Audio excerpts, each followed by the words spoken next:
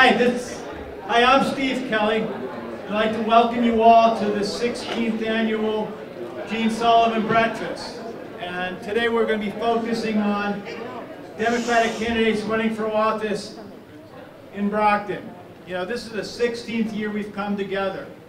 And I think it's really important that um, we recognize how, it, how important it is for us to get Democrats elected at all levels. I find it really important that we come together and elect a Democratic mayor, Democratic city councilors, Democratic school committees. You know, I'd like to, before we start, I'd like to have a uh, moment of silence in memory of uh, Mark Lindsay's dad, David Lindsay. Lindy.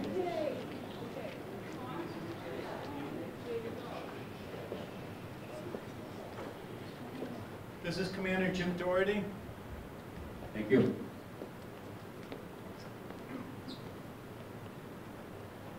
And salute. I pledge allegiance to the flag of the United States of America and to the republic for which it stands, one nation, under God, indivisible, with liberty and justice for all. I also like to welcome today, we've got a number of dignitaries here. I've got Greg Hanley. Steve, don't move the mic around. Right, right up there. I've got Greg Hanley, who's the Plymouth County Commissioner.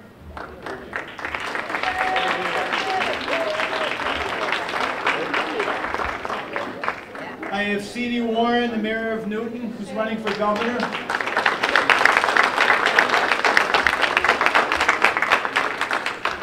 I have Representative Jerry Cassidy. John Buckley, the Register of Deeds. Curtis, State Committee. Mark Linde, who's Chair of the Southeast Regional School Committee. Tim Sullivan, School Committee Award 7.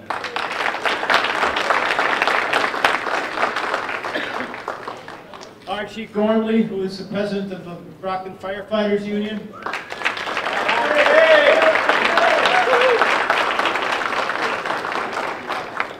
Michelle Dubois, who's the state rep.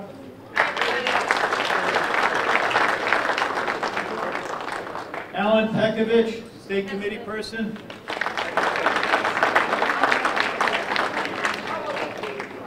I have Dennis Eaniri, Ward 3 City Councilor.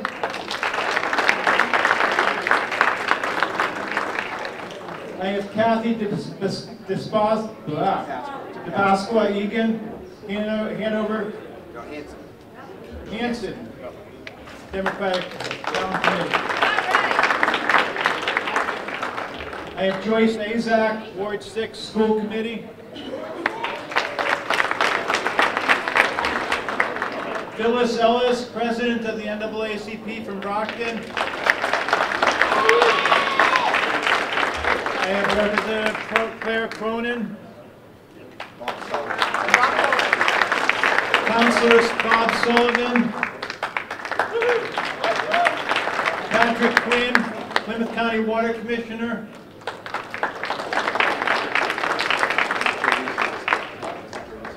And, uh,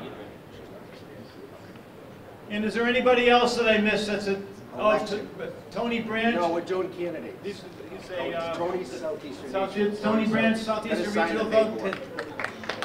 I didn't see your name on, the- on the uh, list, Tony. Okay. Oh, and Ann Beauregard. Ann Beauregard, Ann Beauregard. All right, Ann. Hey!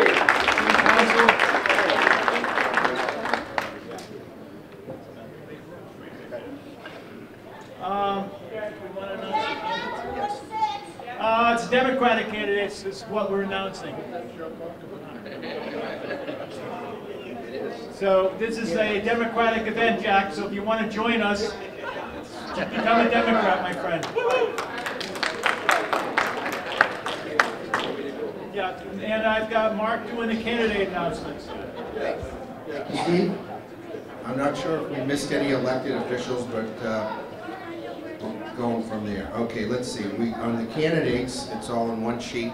So the first candidate who has al- al- already come out of the gate, um, Peg Curtis is, is gonna be running next year as a candidate for state rep for the 10th Plymouth District. Um, Candidates, got more candidates, thank you. Um, We already did Tim Sullivan as an elected official. Steve Kelley is running for Ward 3 School Committee in the November election. Jimmy Pereira is running for mayor of Brockton. Jimmy?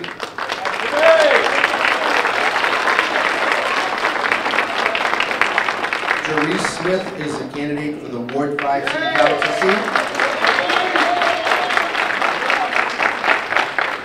Julio Pomar is a candidate for mayor of Brockton. He's over in the green over there. Bishop Tony Branch is a candidate for city council in Ward 4. Felicia Chalmers is a candidate for Ward 6 School Committee. Angel Cosma is a candidate for Ward 2 City Council. Gary Keith Senior, candidate for council at large. Councilor Dennis Eaniri, who is a candidate for re-election to the Ward 3 City Council. Joyce Asap, who's a candidate for re-election, Ward 6 School Committee. Tina Cardoso, who's a candidate for Ward 3 City Council.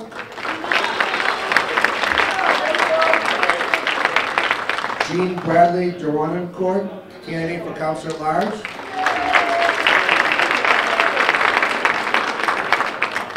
Jay Gonzalez, who's a candidate for governor of Massachusetts, in the back.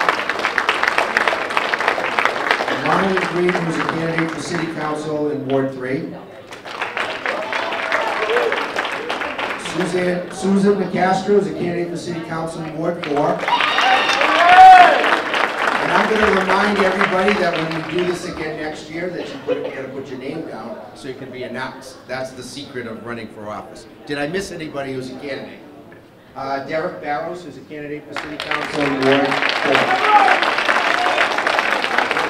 And I'm, uh, Ray, oh, he didn't sign in either. Ray Henningsen, who's a candidate for, uh, school committee in Ward 7.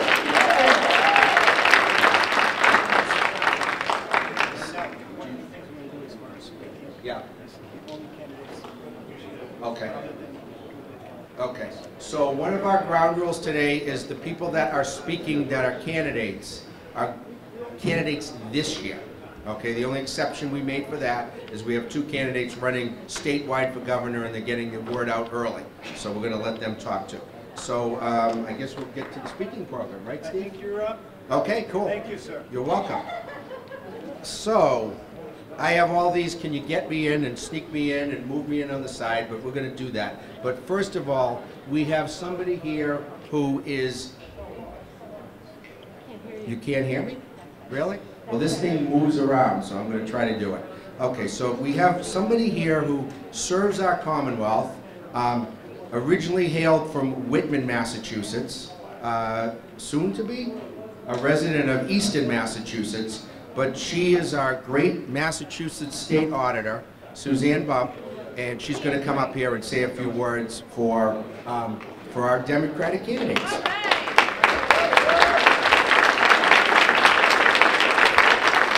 Good morning. Good morning, everyone. I really hope this, uh, this kind of, uh, temperamental mic, uh, works for, uh, for this morning. I have a book with me. I don't know if you can see the cover of it. It's a kind of familiar face, I think. It's the face of our recent Democratic governor, Deval Patrick. And Deval gave me this book several years ago. And uh, frankly, I hadn't picked it up in a while. But as Mark mentioned to you, I am moving. I'm moving from my house in the Berkshires and I'm coming back east and I'm going to be living in Easton and I'm really delighted to be back so close to, to all of you.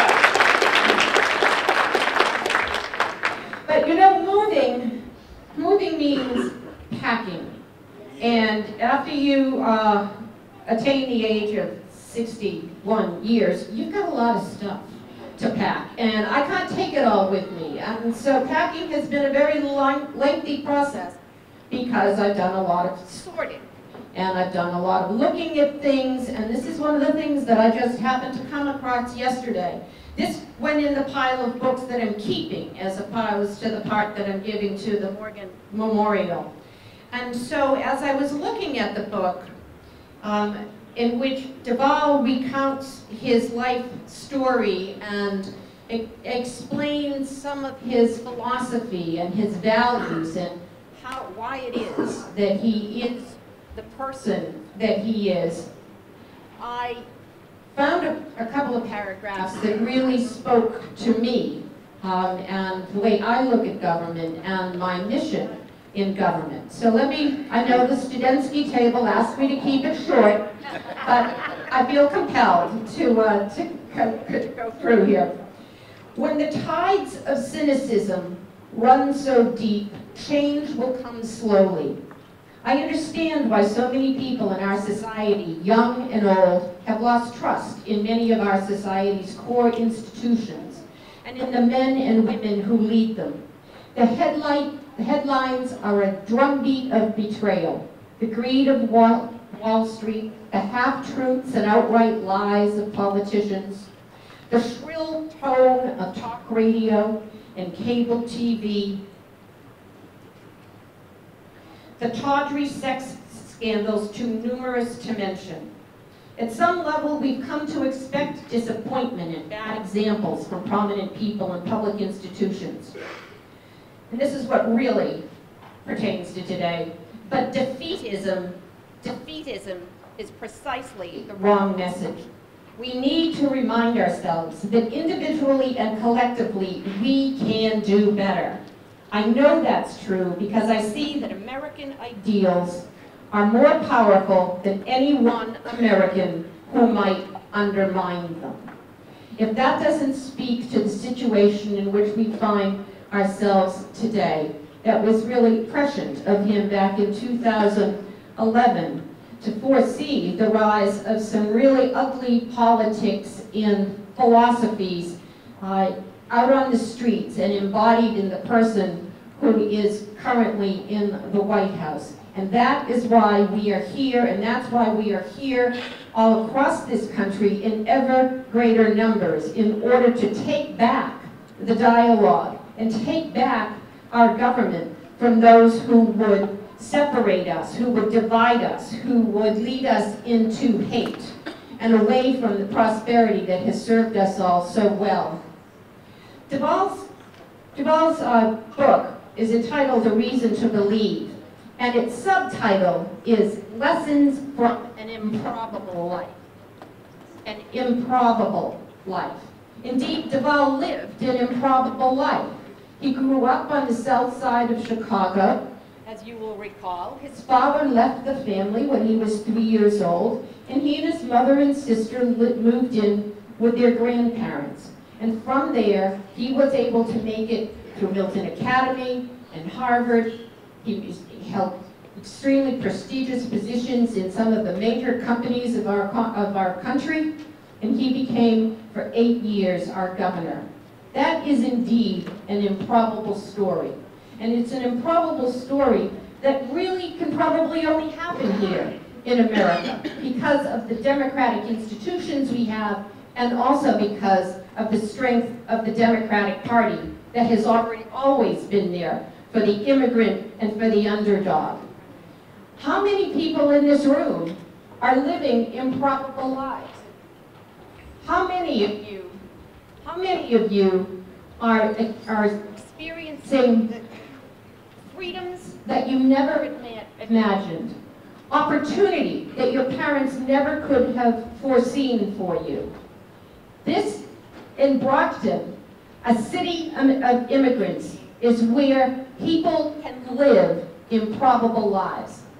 How many of you, and there are a lot of candidates in this room, how many of you have ever had anybody in your families run for office before? only a couple hands went up. And I'm going to, I don't know, maybe I shouldn't be doing this, but I see a lot of brown and black faces in this room. Did you ever think that you would be able to do this, to participate in a democratic process and represent your people and your values and your stake in this community and be able to espouse a vision for a better world? I bet you never did. And it's a wonderful thing that we're able to do that. You are living, I'm, I'm sure, an improbable life. I'd like to recognize as well another man who lived an improbable life, who passed away and was buried just this past week. My predecessor, State Auditor Joe DeNucci, lived an improbable life. Joe, if you recall, was a professional boxer. He never won a title, but he was always a contender. He was always in the ring, fighting on behalf of the underdog. And he was always a champion through the underdog throughout his whole life, not just in, as it pertains to boxing, but he entered public life after that career in boxing, and he was a state representative, and he became the auditor. Who could ever have predicted that that was going to be the case? That a man from a humble Italian family was able to achieve statewide office as the underdog. Joe believed in people. He had the biggest heart that you can ever imagine. He was compassionate and he defied stereotypes.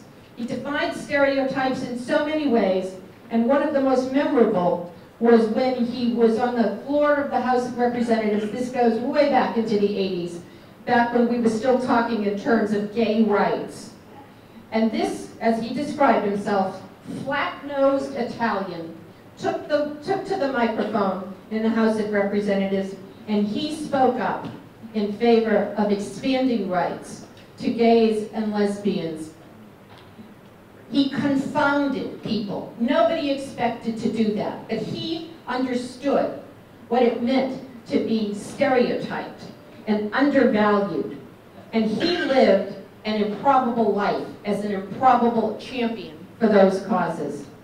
I feel very honored to be able to, to follow in Joe's footsteps. And I read that passage to you because I also feel very privileged to have been able to serve with Deval, who was the embodiment of democratic values, of, uh, of social justice, and of creating economic opportunity for everyone. And I loved that man. And he gave me this opportunity to serve you in a way that I never would have dreamed of. Believe me, my father never would have dreamed of my doing this. I think that my father spent most of his life scratching his head at where I came from. Because he was a small businessman in Whitman, and I'm sure that he voted Republican more often than he voted Democrat. And he sent me to Catholic school, and in spite of that, I became a lawyer and a politician. I suppose in my own way I've lived an improbable life. But I have done this because I just felt a calling. When there was an opportunity to run for state representative, I just said, well, if not me, then who? And if not now, then when? And that was the same couple of questions that caused me to run for state auditor. And I'm very proud of the work that I've been able to do on your behalf, not only to make sure that government is spending your money well, but to make sure that the programs that we rely on are spending your money well, and that they are serving the people that they are supposed to serve, whether they are children who rely upon the catastrophic illness fund and find their, their families uh, experience months and months of delay to get a check to buy that piece of medical equipment or fix that handicapped ramp, uh, uh, ramp that gets them in and out of the house, or it's veterans who aren't getting served because the state hasn't figured out a way to identify them in order to reach out to them and make sure that they're getting everything that they should be getting from the state. I love the work that I have been entitled to do by virtue of the support that I've received from people in this room, and I thank you so much for that opportunity. I look forward to returning as your state auditor next year. I'm going to be needing your help in order to do so. The, the Republicans have said that they're going to be putting candidates up against all of the, uh, uh, the, the Democrats in constitutional office and as many other offices as can be. So I thank you so much, and to those of you who are candidates, I'm delighted to see, I'm so proud to see the way that you answered that question, those questions. If not me, then who? And if not now, then when? Thank you all very much. Give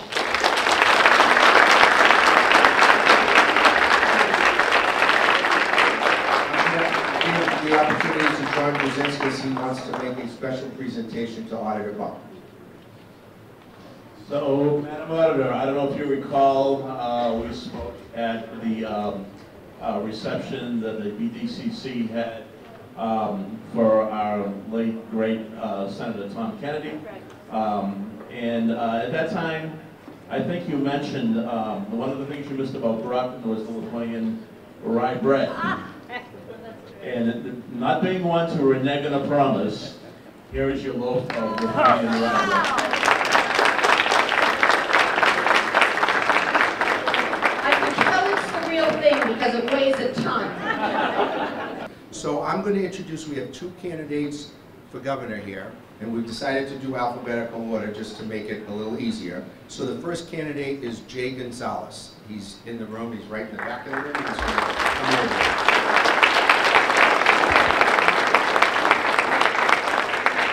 Since they're candidates for governor, I think I gotta give each of them at least five minutes. I have the bell over here, but I think they can regulate themselves. Here you go, Jay. Thank you very much. Hello, Brockton Democrats. Hello. Great to be here with all of you today, and my former colleague, Auditor Bump, a great public servant, and definitely someone worthy of the award and celebration. Um,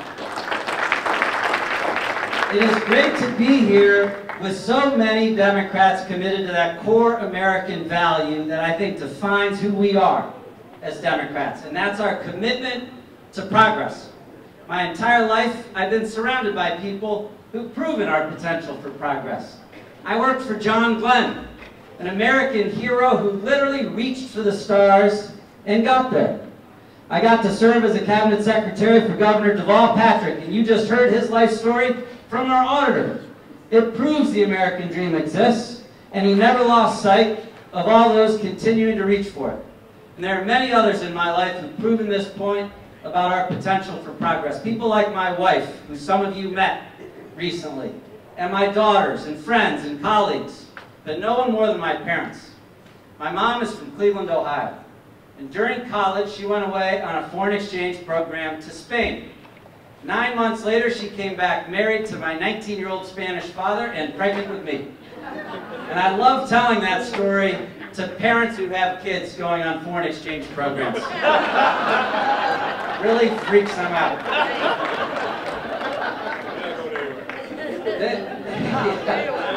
So it just says, you're not going anywhere, yeah. I feel the same way about my daughters. Uh, but it, it turns out well. So they didn't have a lot. My mom had to drop out of college to take care of me. My dad didn't speak English, and he'd never been to college.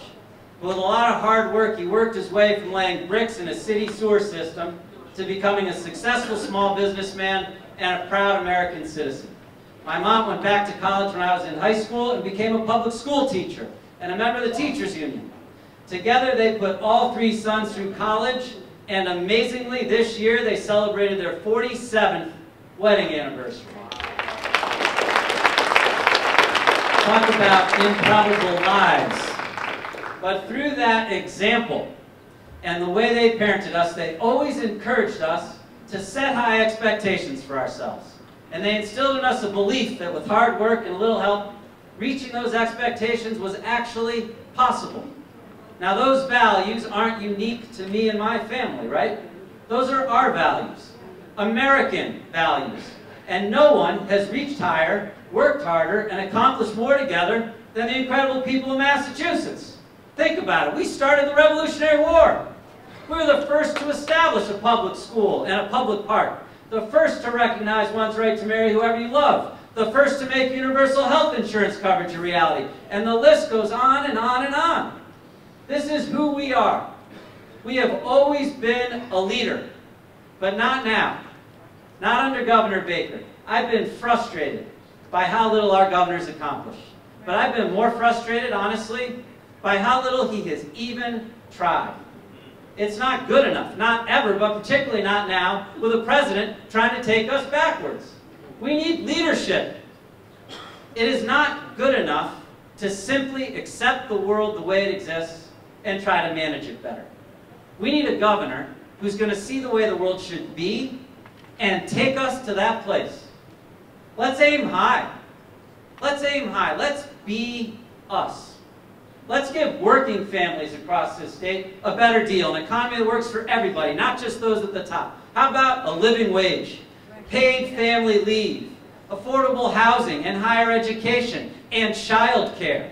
How about a transportation system that people can actually depend on to get to work on time? Let's aim high when it comes to our dysfunctional healthcare system and implement a single payer system that is simpler, cheaper, and does a better job keeping people healthy. Let's aim high when it comes to properly funding our public education system in lower income districts like Brockton. And most important, let's aim high when it comes to how we treat people. We need a governor who sees the value and potential of every single person, who doesn't need coaching and pressure and second chances to get it right. So let's aim high. If we do, I know we can build a better future for everybody. That's the lesson my parents taught me. It's the American story. It's what the people of Massachusetts have proven over and over again. And it's what we should expect from our government and from ourselves. And that's why I'm running for governor. I'm not a career politician just trying to get to my next elected office. I'm not going to make whatever political calculation I need to make just to win at whatever cost. That's not why I'm in this. I'm in this because I care about people, and I want to make a difference in people's lives. And if that's the type of candidate you want, if you believe we need to aim high, if you want Massachusetts to be a leader again, then I hope to earn your support, and I hope you will join our grassroots campaign. Thank you very much. Thank you very much, Dan. He just reminded me, your parents are 47, my parents would have been 67 on November 11th on Veterans Day, so, long time. Um, We also have here, there are three candidates for governor, there are two of them here. Setti Warren, Brockton's a city, Newton's a city, similarities and differences. I, I met Setti when he was originally running for United States Senate back a few years ago, and he always said, he said to me this morning, he always likes coming to Brockton. So Setti Warren.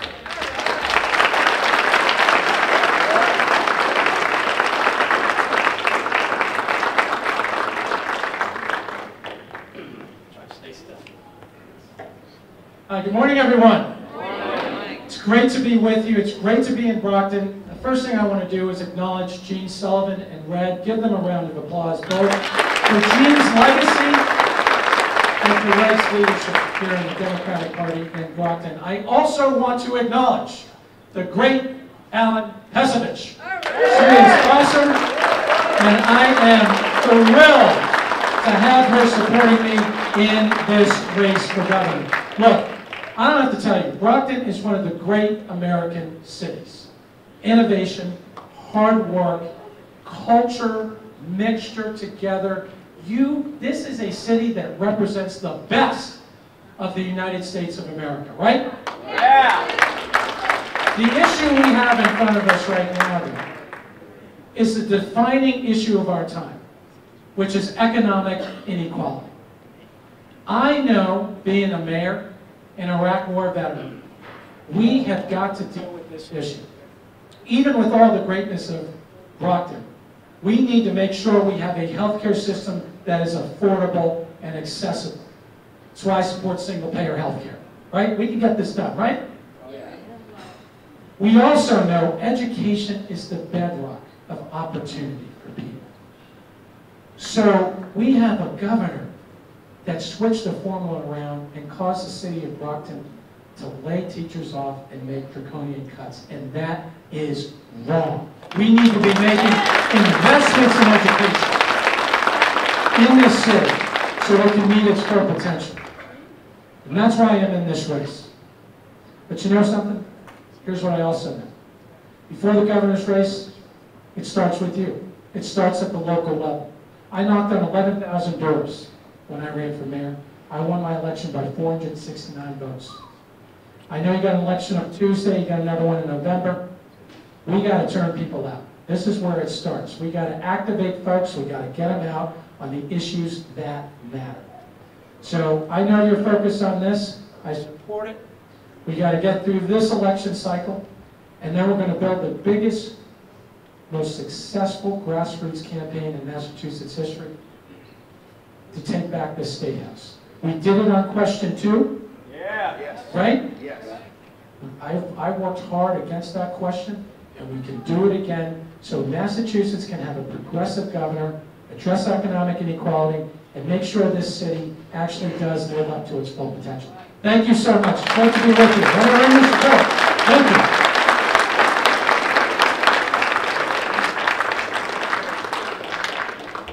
So we're stalling a little bit because we want Red to get here, but we, we have a lot of people to hear from. Um, I, I was asked, um, to have a couple of people come up here and briefly talk about different things. Ed Miller hosts a television show on one of the local radio stations, the one down in Taunton.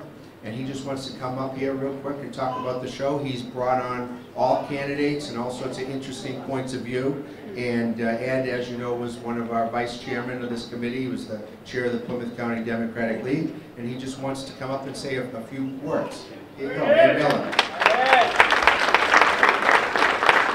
Thank you, Mark. I'm only going to take a couple of minutes because you have candidates, great candidates out there who are running an office who wants to do it, make a difference, and they're Democrats. I started this show with my friend, I started the show, I don't, I think they can hear me anyway because I speak. But I started this show with my friend Chuck Blanchett. We were on WXBR, then moved over, when it closed over. We've been on since June of last year. I started the show because I was getting so tired of hearing what I believe in. Income equality, the right for women to make their own decisions. In everything, healthcare, we're still fighting it. And then I have to listen to people who denigrate that because that's the only thing they hear. We as Democrats have to stand up and get shows on like ours that bring the full progressive views that we believe. Because either that or we're on the wrong side, and I don't believe that. In Massachusetts, since 1990, we've only been able to elect one governor because they hear that unions are bad and Democrats are bad. We can't even, we, we work hard, and we're still trying to elect a Democratic mayor in Brockton, which is 80% Democrat. Because people hear, they hear the lies, and they hear the lies, and it becomes the truth. So I got angry enough, and as you know, when I get angry, I explode, and started the show. So I'm asking you all, please listen. It's 3 to 5 on Saturday, every Saturday. Right now, it's the only progressive, the only Democratic radio show in Massachusetts. Think about that. The most progressive state doesn't even have progressive radio because we have to fight for it. I'm going to say thank you, and if anybody wants to advertise, it's very uh, uh, inexpensive, and be getting your views. So if you're a small business person, please contact us. Again, it's Stand Up Strong with Ed and Chuck, every Saturday, 3 to 5. And maybe you'll hear a different opinion that you hear everywhere else. But we talk about unions, and we do something a little different. We talk about unions, how they help us. You don't hear that much anymore. I want to thank you. I want to thank everybody who is running because it is difficult, and you're doing the lion's share of the work. I want to thank those people. And Mark, again, thank you for letting me get a couple of minutes. I think it's really important what it does on a weekly basis to get the word out. If, if you listen to uh, the radio waves all across the country, we have a lot of conservative talk radio. Don't even want to turn it on. I do tell all my students at Massasoit that you have to listen to both sides so you can sharpen up the side, our side, basically.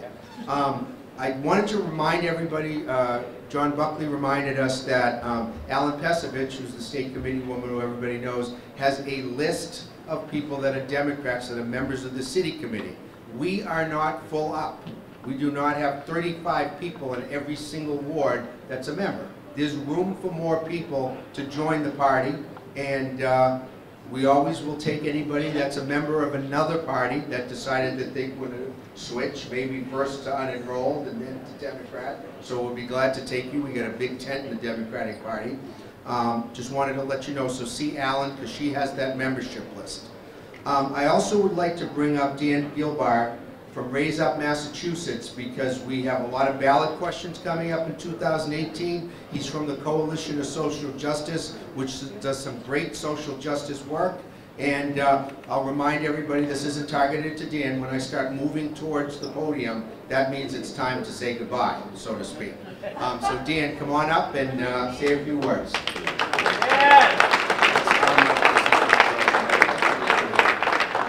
Hi, everybody. Um, So I'm with the Coalition of Social Justice and also with Raise Up Massachusetts, which is a coalition of groups, many of which uh, do work in Brockton. And people are joining together in an effort to put three questions on the ballot in 2018. One thing that's already on the ballot is the fair share amendment, taxing people with incomes over a million, using that money for education and transportation. That's already done, but we're collecting signatures on two other ballot questions. One is uh, $15 minimum wage, and the other is paid family medical leave. Uh, We're simultaneously working with the legislature on these issues. We're hoping that the legislature passes either one of those uh, in the next session, but we also want to qualify for the ballot in case we need to do that. I'm hoping that people here will not only sign the petition, but also will talk it up and circulate with their friends and your neighbors and your coworkers. If there are people here with like petitions, I have some that I can give you uh, that you can take with you today. We can also arrange to have speakers come out, if you, any of you from, for example, from town committees or other organizations. We can have a speaker come out. We have a very good slideshow on these issues and also on, uh, on the signature gathering process. So anybody that's interested in that, please see me after the event or after I finish speaking. And uh, I just want to say, we were successful in this coalition two years ago uh, to get paid, excuse me, to get earned sick time passed on the ballot, also to get a good minimum wage bill passed by the legislature. Thank you legislators in this room for passing that. And uh, I think if we join together and put our, use power in numbers, we will be able to do it again. So thank you very much. Thank you, Dan, for all the work that you do every day. Um, I know a lot of people in this room have been very involved with the Coalition for Social Justice. I did want to uh, introduce a couple of other people that came in later that are candidates. Um, I'm not sure where he is, but I'll find him. Marlon Green, who's a candidate for Ward 3 City Council. He was in the room. We have uh, Jacob Tagger, who's a candidate for council at large. He's right over there.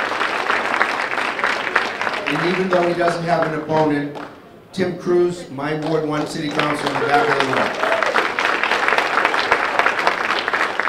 So now we're at the point where we're going to hear from candidates. Um, I did want to just recognize really briefly the Executive Board of the Democratic City Committee, so you know who we are, because we do the work month to month behind the scenes, and then we get together the quarterly meetings and the events. So our chair is Steve Kelley, right over there. Joe Tara, our first vice chair, was unable to be here, but he's been involved. Uh, John Drazinskis, who chaired this breakfast, John Drazinskis is our second vice chair. Susan Castro has two hats. She's the secretary for the city committee and the Ward 4 chair.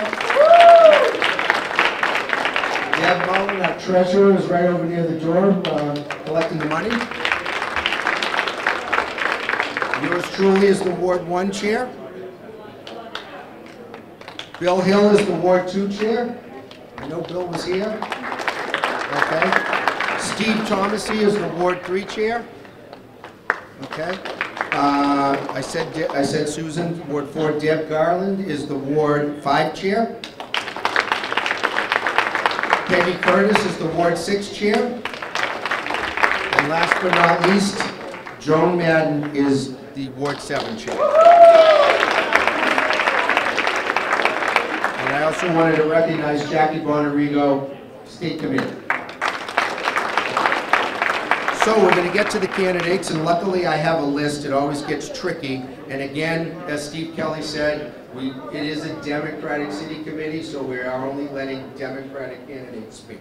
And uh, we check the registrations to make sure. So I'm, I'm going to, I'm gonna, I'm gonna kind of, I'm not putting candidates that are running against each other necessarily next to each other, okay? So we're gonna start with our chairman, who's running for school committee in Ward 3, Steve Kelley. And I'm gonna stay near the microphone because we're gonna do about three minutes and then I'm, I'll ring the bell if I have to. But I think Steve knows how to talk. Hey, everybody. Wow, what a turnout we've got with all the what a turnout we've got with all the candidates. You know, I'm amazed at how strong this committee has become. And it wouldn't be without all the help of the uh, Brockton Democratic City Committee members. Now, the reason I'm running for school committee is that I've made a commitment. I've made a commitment throughout my life of working to empower people. I started that when I was in college. I worked as a volunteer coordinator with the Saco Valley School for Exceptional Children. These were children that were denied a public school education because they were developmentally disabled. I became a volunteer coordinator. We worked out a school program for them. I went on to become a social worker, worked with the state for 40 years, ending as a program development specialist. Here in Brockton, we have a collaborative group of dedicated people. You know, we had a dropout prevention coordinating council that had John Buckley as chair. We had Moses Rodriguez. We had Bishop. We had uh, someone from Messiah Baptist Church, the NAACP. We had Mary Baker. That died because of one vote from the school committee. And back then I wanted to run, but the opportunity hasn't presented itself. So now's the time, and now's the place, and I'm a candidate. So I appreciate your support. Thank you, Steve. I did need to ring the bell for that. Let's go to um, Ward 6, School Committee.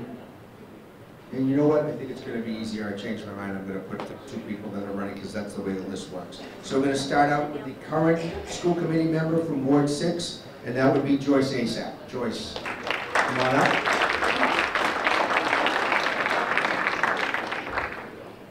Right now, the school committee is I enrolled in Republican, so we're hoping to keep some Democrats.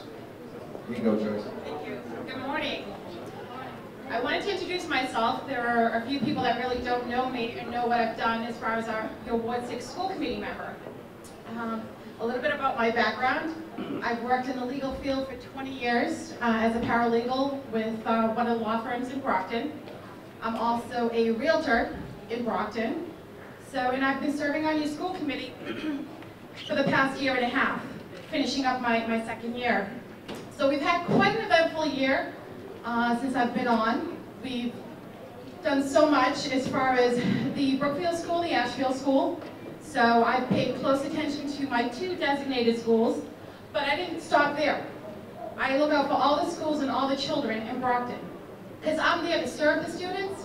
I'm not the- there just to hold a seat and attend meetings. So we're at the meetings, that's, that's what we need to do, but we, I love attending the fun stuff. I was there the first day of school, like I was last year, greeting my students and seeing those smiling faces. When you look at those children after being elected, you look at them differently. So, and it's so hard to explain, but some people understand. Um, I'm responsible for that.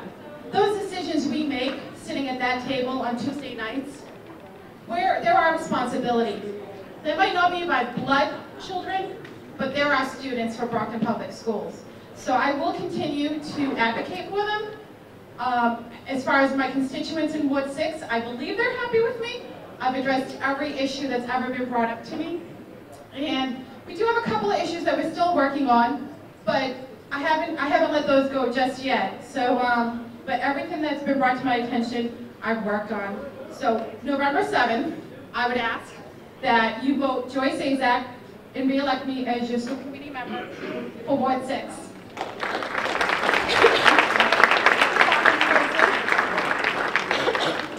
Thank you, Joyce. Um, Joyce is being challenged in this election by Felicia Chalmers. I hope I said it right, so come on up, Felicia. Absolutely. This mic for volume, that mic for our camera. Good morning, everyone. Good morning. Good morning, can you hear me? Right now. So I am Felicia Chalmers. I'm running for Ward 6 School Committee. I decided to run because as a parent of three children with disabilities in the school system and a grandchild, when I heard about the budget cuts, I, I was just very upset. My children are wonderful children and they deserve a good education and so don't yours. I am a, I have been a, for, a foster parent for 14 years for children with disabilities and um, learning and behavior issues. I've done that um, for, again, like I said, 14 years is my passion. I'm also, I've also been a, a store manager for Circuit City, and I don't want to tell my age because we know they went out of business. I've been a head teller for Sovereign Bank, so I do have budget experience. I continue to work in the community. I work with BIG, the Brockton Interfaith, on several things, such as um, minimum wage, uh, restorative uh, discipline, and also the Family Medical Leave Act.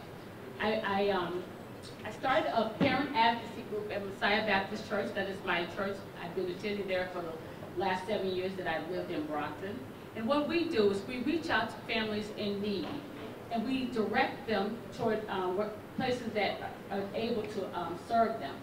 We do Christmas baskets, holiday gift baskets, and everything. One of my goals is to adopt a fiscally sound um, budget and to regularly monitor the funds throughout the year. And that is along with all the other members of the school committee. I would also like to review and approve the school budget through extensive discussion and prioritization uh, of each item with more community input. I feel that as parents, these are our children. We need to know what is going on, and we need to get out here, be a part of this community, be a part of that school committee, and give our, and let our voice be heard. So remember, November 7th, Felicia Chalmers, Ward 6 School Committee. Thank you.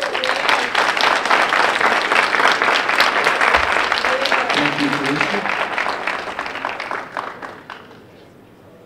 So I'm going down the list. Usually, school committee candidates end up last, because I've been a school committee candidate, so that's what's at the top of the, the, the chart. Um, I have, um, uh, we, we- we have a special guest about to enter the room with a little, little logistics, okay? And I'm gonna ask you if you could all stand for me. Um, Our, our, our good friend Paul Red Sullivan. And this is our-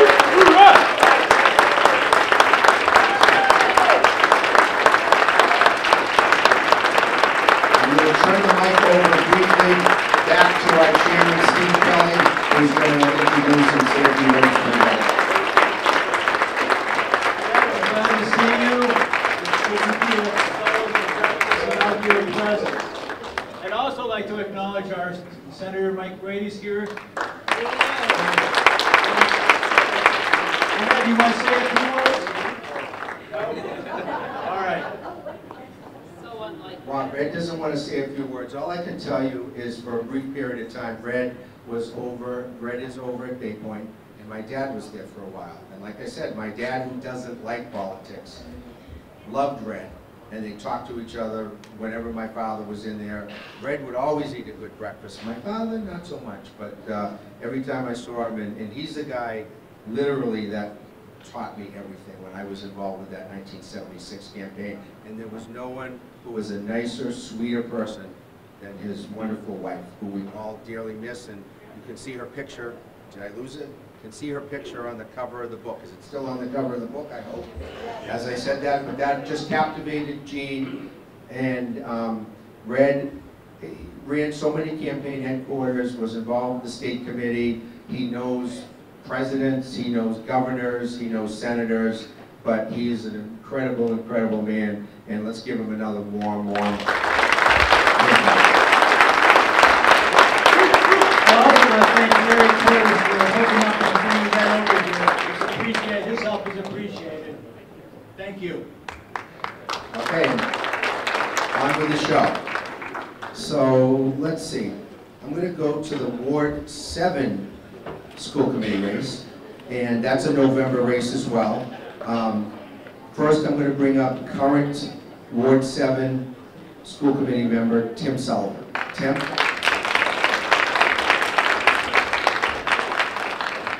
If Tim was driving the bus, Red would have been here on time. Good morning, everybody. Morning. You gotta hold it up. Can you hear, is this working? Uh, My name is Tim Sullivan, and I am running for re-election for the Ward 7 School Committee in Brockton. This is a position that I've held, this will be my third term. I've done it two terms, I skipped a term, and I came back again, and now I'm re-running for re-election. A little background about myself. I just recently retired from 40 years of driving a bus. And I consider a public service job. I had to deal with the public every single day, every single minute of the day. It was, it was trying at some times. But a- about myself, I moved to Brockton in 1972.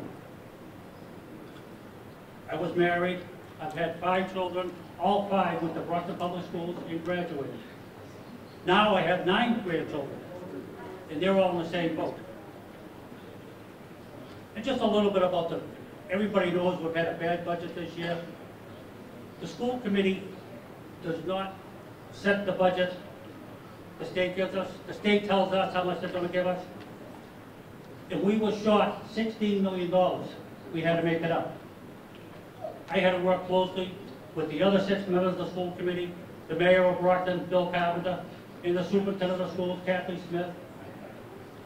And we had to come up with a balanced budget to open the doors on the first day of school, which we did.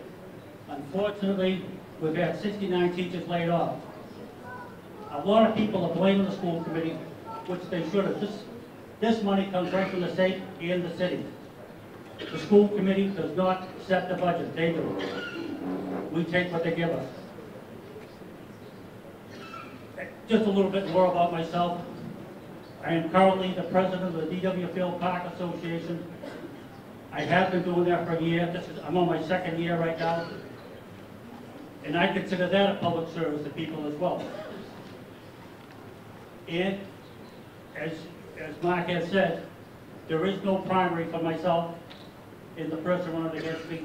We have, there's only the two of us, and our election is until November 7th. I hope to see you all out there. Tell your friends and get out and vote. Thank you. Thank you, Jim.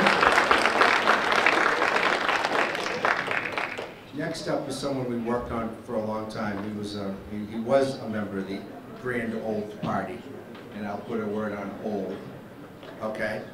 And then unenrolled, and now he's a Democrat, Ray Henningsen, who held the seat prior to Tim holding the seat, he's seeking, seeking the election. Ray Henningsen.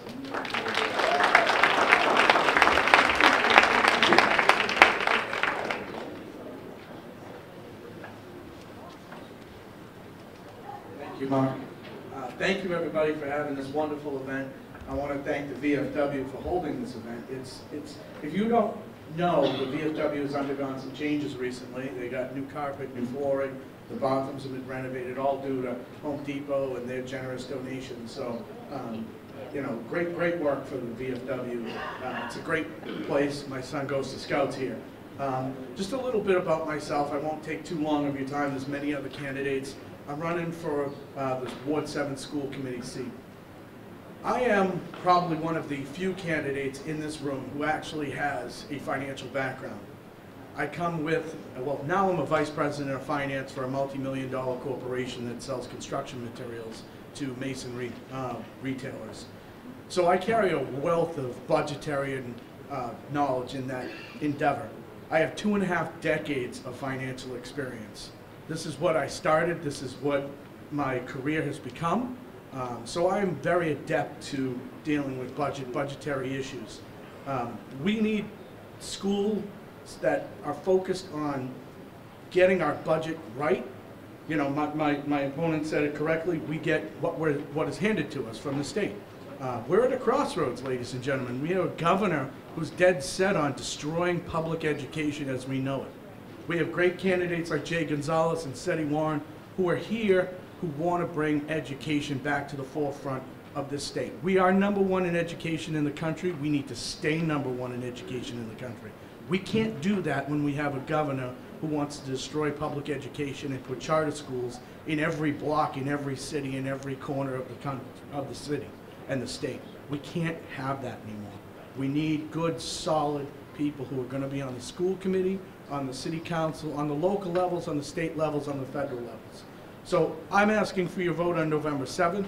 Um, You know, a little bit more about me. I'm married 26 years now, going on September 7th.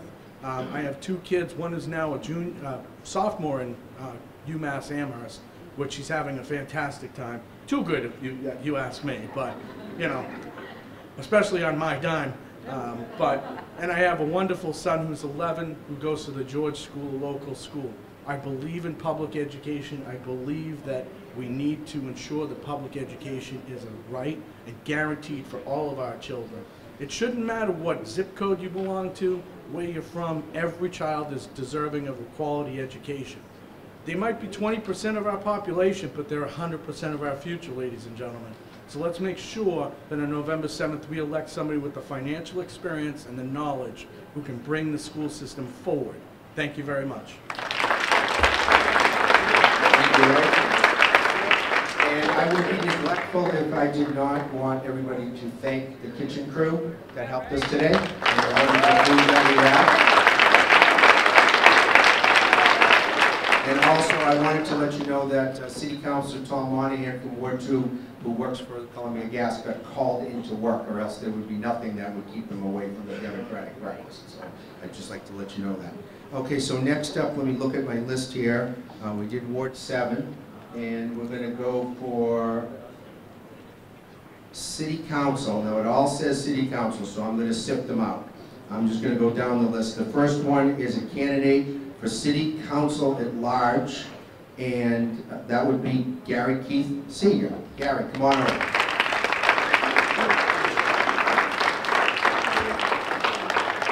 And just a reminder to everybody, this is the mic you can hear on, and this is the mic that goes to cable, so just keep it close, but not too close.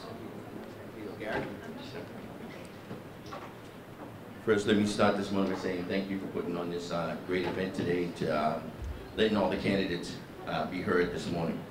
And I want to thank God for giving me the opportunity to be here. My name is Gary Keith Sr., and I'm running for council at large. From the age of 17, I started serving when I joined the military. And uh, I've been serving ever since. For 27 years, I'm a 27-year member of uh, Jubilee Church. I served in my church as an armor bearer to the bishop. I have recently been serving for the last four years on our planning board and our zoning board of appeals, which I believe uh, gives me the experience to actually step into a city council seat since I've been working with them and with the mayor in certain endeavors. My wife couldn't be here this morning, but uh, my wife and I have been married for 31 years. We've been together for 34 years. We've raised seven children in the city of Brockton who have all gone through the Brockton public school system. Our youngest son is in his third year right now at American International College in Springfield, and our youngest is actually in her senior year at Brockton High School. We have four grandchildren right now. We have committed ourselves to serving the city of Brockton, and uh, my kids have now set up their roots here in the city of Brockton by buying uh, their homes and everything else. So we're here for the long run, and we're going to fight all the way through. Like I said, I'm committed to serving the city of Brockton, and uh, that's been instrumental in my helping Lincoln Congregational Church open their doors three years ago.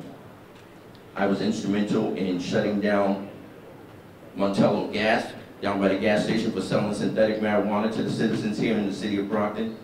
So I'm not afraid to get my hands dirty. Okay, um, I'm here to actually help push the city uh, forward. The biggest thing though is, some people ask me, why am I doing this? It's either I have a passion to do it or I'm very stupid. And uh, I'm far from stupid. I have the passion, the drive, the determination, the will, and I'm going to keep on pushing forward. I have been since I ran two elections ago, so this is my third one. So I'm no stranger to doing this. So on November 7th, I'm hoping that you consider casting one of your four votes for me, um, for Councilor at Large, so I can continue to serve you in that capacity. Thank you very much, and thank you for letting me speak. Thank you, Barry. Next up, we're sticking with the Counselor at Large race. We have uh, Jacob L. Tagger Jr. Where's Jacob?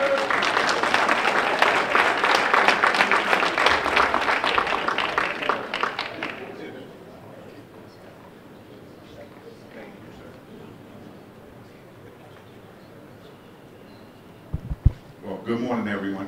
Um, First of all, I want to make sure I say one thing. I am, I- I've been a member of the uh, Democratic City Committee for, I want to say going on four or five years now.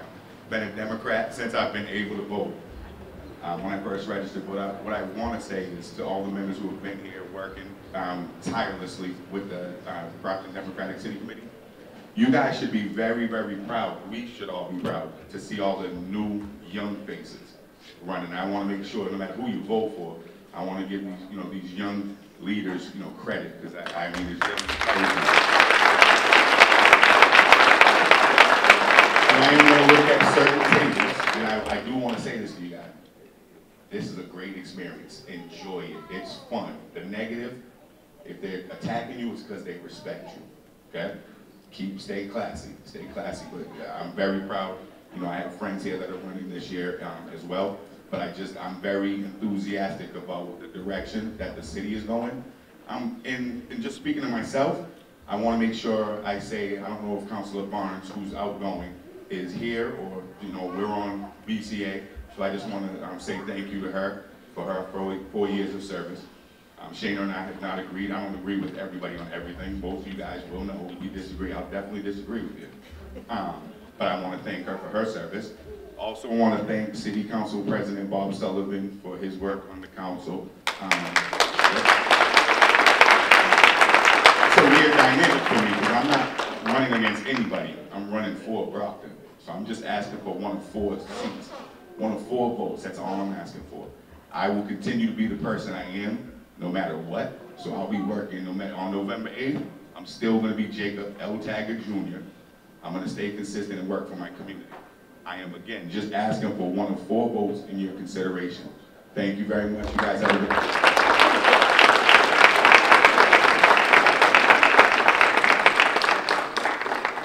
Okay, next, um, I do not believe Council Moses Rodrigues is in the room? No? Okay.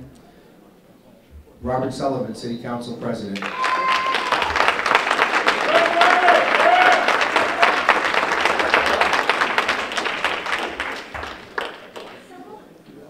I don't get that at my house, so thank you. I, again, I like that, you know? Three little kids and a wife, nobody really says, hey, Dad, all right. Listen, first of all, um, I want to acknowledge Red Sullivan, and I say this every year.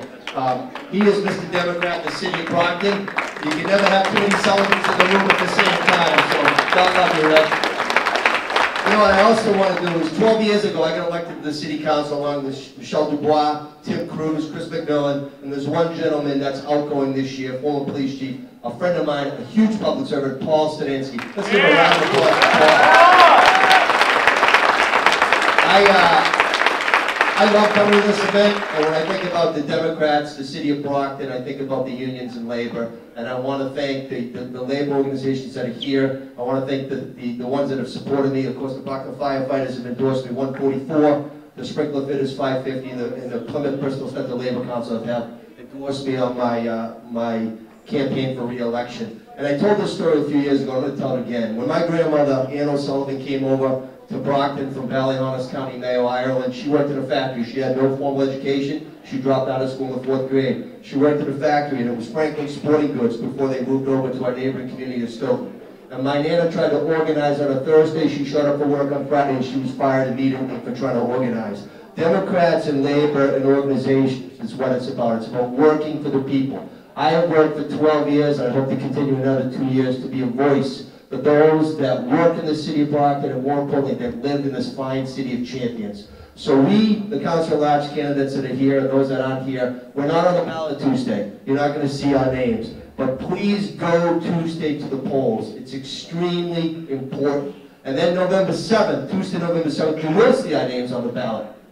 That's the general election. And I'm asking you for one of your four votes. I'm asking to continue what I've been doing to do for, for 12 years, working for you, working with you, being your voice. What you see is what you get. I work hard at all times because I think that's what it means to be a public servant. So I am asking for your vote. I'm asking to continue what I've been doing. It's a proven experience, it's leadership, and it's doing the right thing at all times. So God bless you all. Thank you very much. Thank you.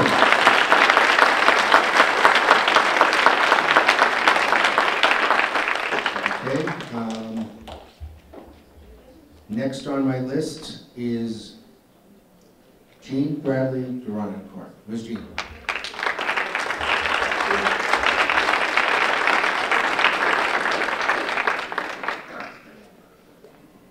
Thank you. Um, good morning, how you guys doing? Good morning, how you guys doing? Yeah, I feel good, it's so important to be here. Well, first of all, I would like to thank the Brockton uh, Democratic Committee for putting this together, so they've been doing it for, uh, I believe, 16 years right now. And of course, I would like to thank Jean uh, for all the things that your wives have done and what you will continue doing for the city. And of course, I would like to thank each um, and every you know candidate in this, whether you're running for school committee or whether you're running for mayor, I think it's important because um, running for public office can be very tough. As you know, you put your life out there, you put your families, you put your children. So for me personally, I thank you and I hope you know you continue pushing for Brockton and you continue doing best. Here's what I can tell you. For those of you who don't know me, my name is Jim Bradley, the winner. But in French we say Jean Bradley, the winner. I know it sounds like sound Chinese, but that's what it is. Most people know me as Jean. That's what they know, that's what they can pronounce, or that's what they want to call me. But here's what I can tell you. I was born in Haiti, and I came in this country in 2010 after the earthquake. When I first came here, six years and a half ago, I could not speak a word of English. Fortunately, I was able to went through the Wacom Public Library, learn the language, where I'm serving as of right now as one of the trustees with the Chairman Mark Linde. From there, I went to Massasoit, graduated with a double major, and then went to Suffolk University, graduated with my bachelor, and I'm approaching my master. Why do I'm saying this? I'm saying this because everybody talks about education. And of course, my wonderful Suzanne Bump talks about Governor Patrick. I used to work for the former governor. And here's, what, here's one thing he said, hope for the best and work for it. And of course, I used to work for the former mayor of Brockton. And as, as of right now, I work for Senator Brady. So this is what I would like you guys to know about me. I choose to do this because I believe in Brockton. And I choose to do this because Brockton give me a reason to hope and a reason to believe. About, two, about a year ago, I became a U.S. citizen. I choose to be a U.S. citizen because I don't want to just... Thank you. Thank you so much. I choose to be, I choose to be a U.S. citizen because I don't want to just live in this country. I want to contribute in this country. I could have lived in this country for the rest of my life because I'm legally here. But fortunately, Trump will not be able to send me back to Haiti. But I choose to do this because Brockton has given me so many reasons to believe. You have been giving me so many reasons to believe. And I think it's important for me. So I choose to run for this race because of the education of our children, youth empowerment, mental illness, homelessness, and all of you. And I know that we can do great. When I go outside of this city, people talk pretty negative about Brockton. But one thing I always do, I always say, you know what? I am a Brocktonian.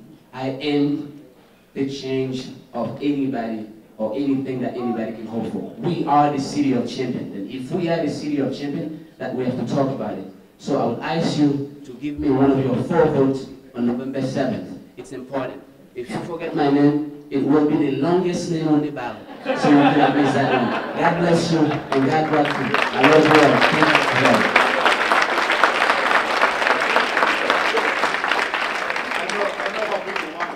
Okay.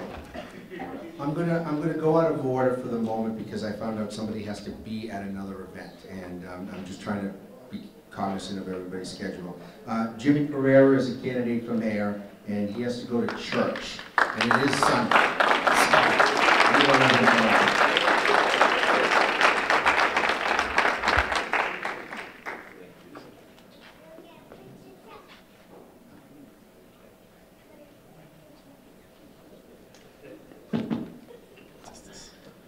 Good morning, everyone. So happy to be here.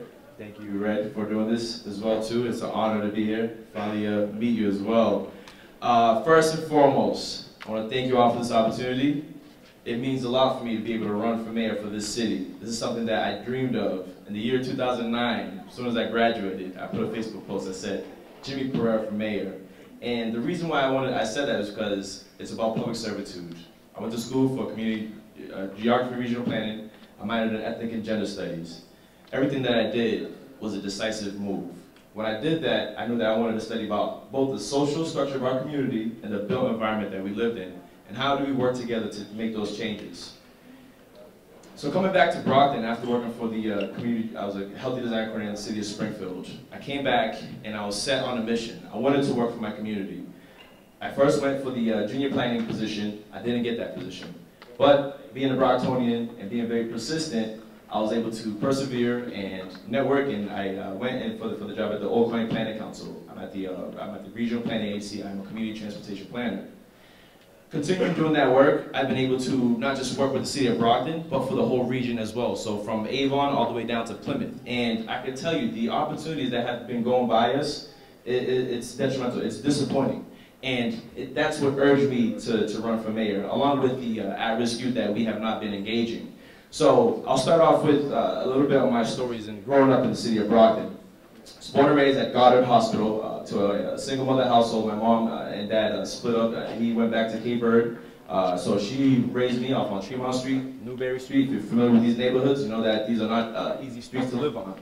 But she worked two jobs. She did everything that she can to provide for her children. And I, I'll project my voice so you can uh, continue to hear me. And mostly what I say comes from the heart anyway, so I want you to really take the time to hear what I have to say. Um, growing up in the city of Brockton was not easy for me, but I persevered. I went to uh, a vocational school in, in Springfield, Massachusetts. I studied vocation, uh, sheet metal welding. Uh, following that, I went to Westfield State University, again, where I uh, focused on uh, my uh, two uh, majors and minor. Um, but I was out on a journey, and I continued to look back to the city of Brockton. I'd look in the headlines, and the news that I see wasn't beautiful.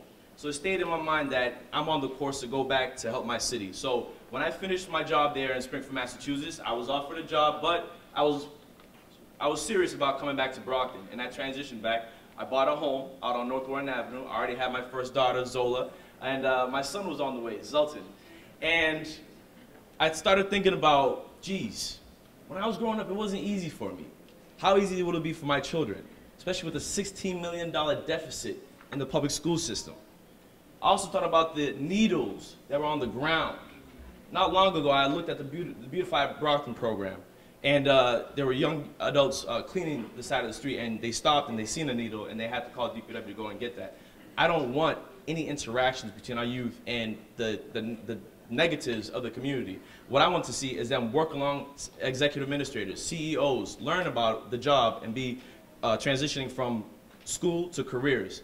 So on Tuesday, 19th, I want you to go out and vote somebody that has heart, that has integrity, that's going to be innovative, that's going to push this city forward. Again, my profession is a community transportation planner. I'm a public servant. And before I go, I want to make sure you all know that tonight we have an event at Motor Basler, uh, 581 Main Street, right next to Dunkin' Donuts, from 6 p.m. on to a night. I hope to see you there, and please remember to vote Tuesday, uh, September 9th, 19th. Thank you.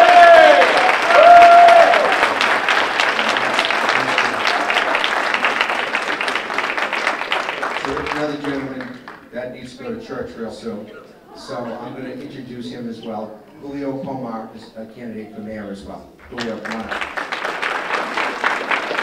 Please use the mic. It- it- They can't hear you if you don't. In the back. I to my best. Can everybody hear me? Yeah. Okay. My name is Julio Pomar. I came to the United States when I was five years old. I grew up right here in Brockton and graduated in Brockton in 1984. A lot has been said about my public safety experience. Look at those pamphlets I put out. That's not all I'm about. In 1982, I was a junior in high school, and there was a big rumor going around how we were going to cut school budget just like it is now. Well, we didn't stand for it as students. We walked out of school. We walked right down Belmont Street. I don't know if any people remember that, but it was one of my proudest moments. Because we, as students, we went to City Hall and said, we do not want this. We believed in our education, and we wanted that. We all came back to school the next day, felt great, and we all got five days off because of it. Totalitarian system, what are you going to say? But we all felt great about it. That happened in 1982. I graduated in 1984. I moved on with my life, became a Navy corpsman, learned how to take care of people. I still do that now. I still work here in the city of Brockton. I don't work for the city, but I work for an ambulance service and I take care of people every day. Now it's time for me to become more than what I am now. I want to be mayor of this city. Not for my, just for me, but for the children. I have six children. I have four that are mine. I have two stepchildren who only step because they don't, they don't have my same name, but I love them just like my own, my own kids. I have four kids that live in, I have three kids that live in Bridgewater with their mother, and I have another son that lives in Billerica, and I see all their school systems. I go to their meetings, I meet their teachers. Billerica is a great school system. Bridgewater has a little lacking. Brockton, unfortunately, because of what the state did to us, where it's a struggle for us every day. When I was in high school, I was not a very good student. I was a late bloomer. I waited until I was in my 20s, 30s, and 40s to be a better person than I was in high school. I want to introduce you to somebody who every day is a, is a gift waking up with this little girl. Katie, come up here for a second, please. This is Katie Malloy. She is my stepdaughter only because she does not share my name. Although she tells me at 18 I'm going to get, you know, turns 18 is going to be a different story. Katie's a sophomore in school. She's going to graduate in two years, and this whole world is going to open up to this little girl. This little girl is in the field hockey. She's a star, star student. She speaks Chinese. She reads Chinese, all from the Brockton school system. She's a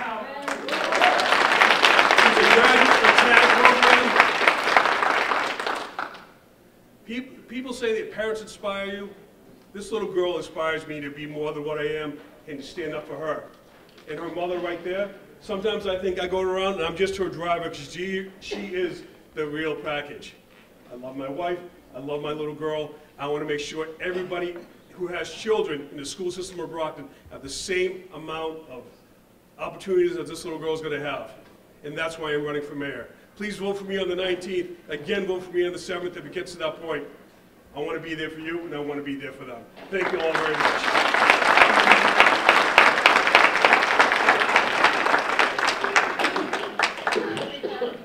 Before I forget, I just want to let everybody know here that this breakfast takes a lot of work to do every year. I've been involved in different capacities. This year I wasn't able to be as involved. But I just want to thank John Drzezinskis, who is running a Ward 6 campaign, but he put this all together with his committee. And, and I don't know where John is.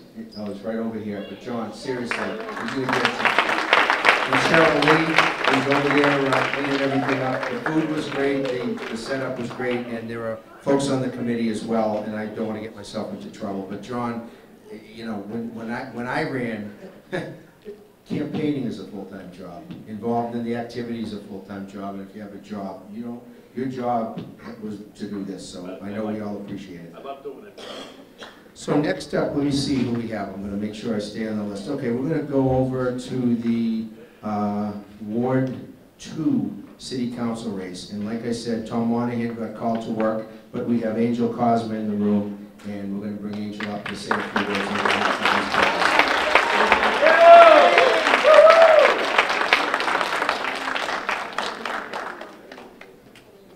Morning, everybody. Morning. Morning.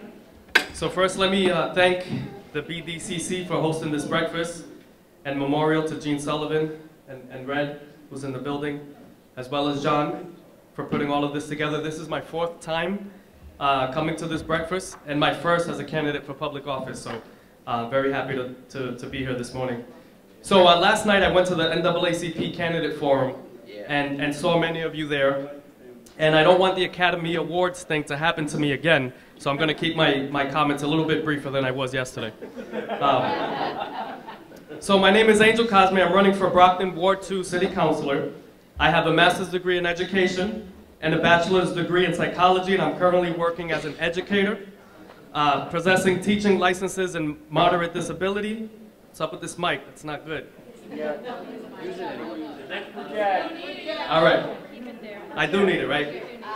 So I possess teaching licenses in, in moderate disabilities, um, as well as secondary history. Uh, I've worked as a clinician as well as a community organizer. So I've been mobilizing around issues for years in this great city in various uh, volunteer and professional capacities, such as helping to organize a delegation that resulted in the, in the uh, Brockton getting a drug court. Very proud of that. Uh, I also opposed the casino, despite how some of you in the room may, may feel I didn't think it was appropriate for Brockton to have a casino. Uh, advocating for immigration, criminal justice reform, education equity, economic dignity, youth empowerment, and police and community relations. These are some of the things that I've worked on over the years in addition to uh, my teaching. So I have a proven track record of advocacy and organizing around these issues pertaining to social justice, especially for the marginalized segments of our society, out of a simple yet profound love for humanity. As corny as that sounds, that's why I do what I do. As Ward 2 City Councilor, I would advocate for fair access to resources, good jobs, housing, opportunities for entrepreneurship, and I will promote public safety. I will invite the public and my constituents and business owners in the decision-making process whenever possible in order to create transparency and to promote accountability. I will diligently research the issues presented before the council, and I will be a councilor who makes decisions based on inclusion of all that encompass Ward 2, one of the most diverse wards in Brockton, I may add. Brockton's demographics are changing, and thankfully, to our democratic process, we have an election cycle that encourages candidates to run for office. I am proud of the fact that about 40% of the candidates running locally are people of color because it is reflective of and thus representative of the populace.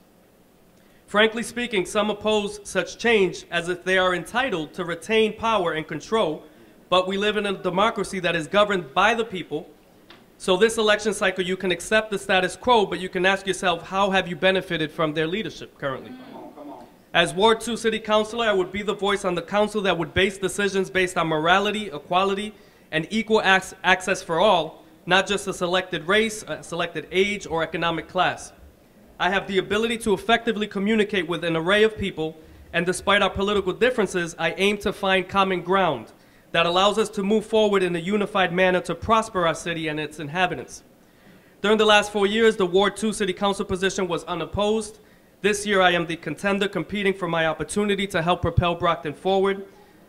I have a wealth of experience in organizing, educating, volunteering, and advocating for a better Brockton, and many of you can attest to this because I've worked alongside of you in many of those endeavors. So again, my name is Angel Manuel Cosme Jr. I'm honored to have your consideration for Ward 2 City Councilor on November 7th. Thank you and God bless you.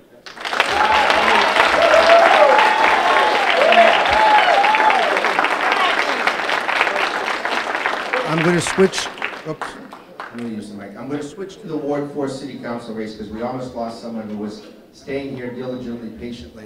And I'm going to start with Derek Barrows. There are three candidates. I'm going to go all three in a row. So Derek, come on up here and uh, give you the three-minute cue.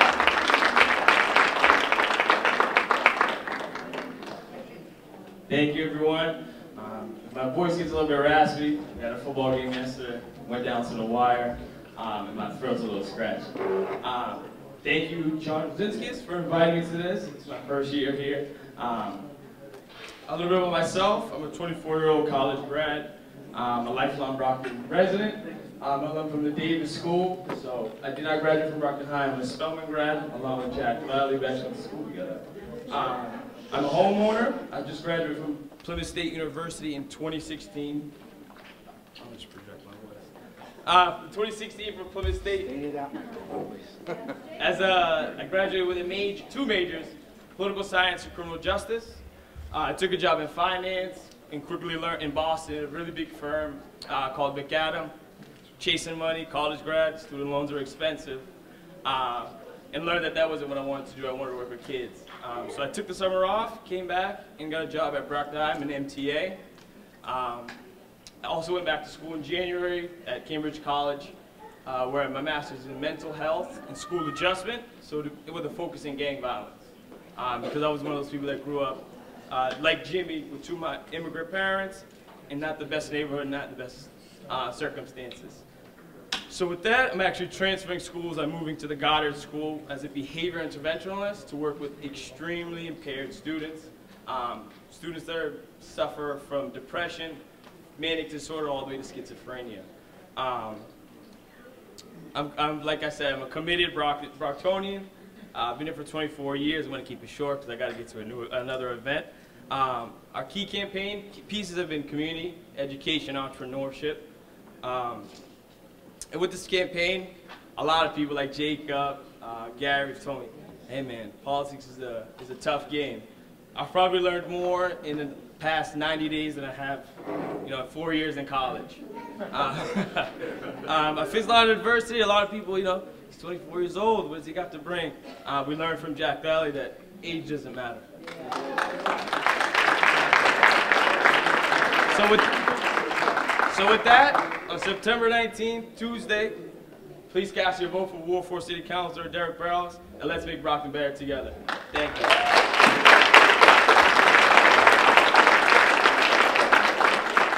Next up, Susan Nicastro, candidate for Ward 4 City Council.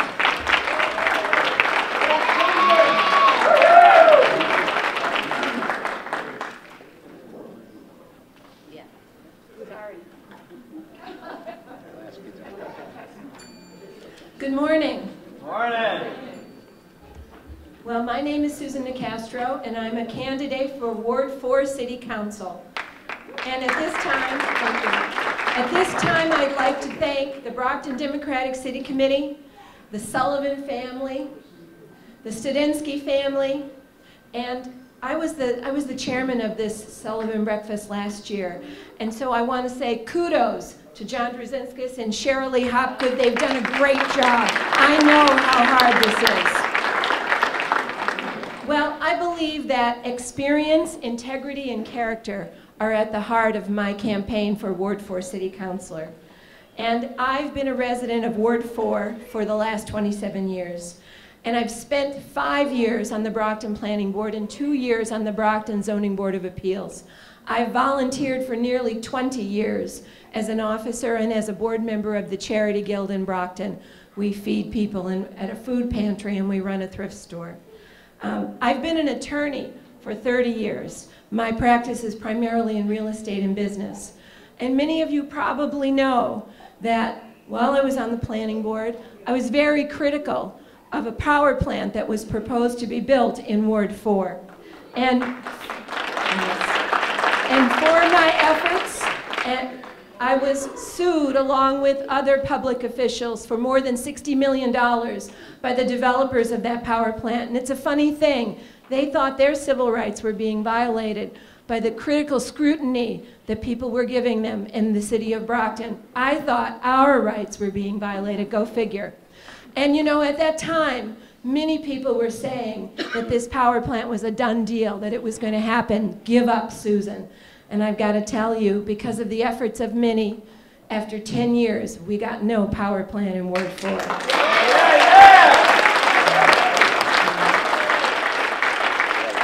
We have remarkable families and beautiful neighborhoods in Ward 4.